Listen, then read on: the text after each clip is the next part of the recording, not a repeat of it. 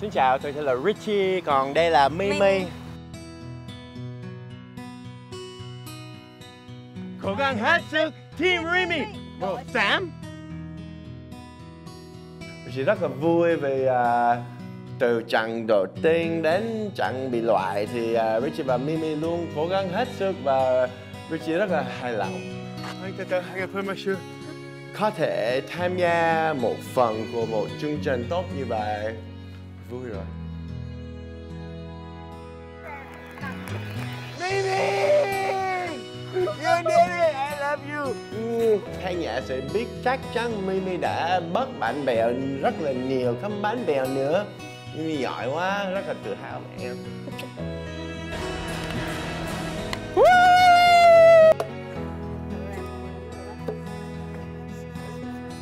Và Richie cảm thấy à, không buồn gì hết mình có con hay là khi mình già rồi mình xem lại cái này ở youtube mình sẽ thấy là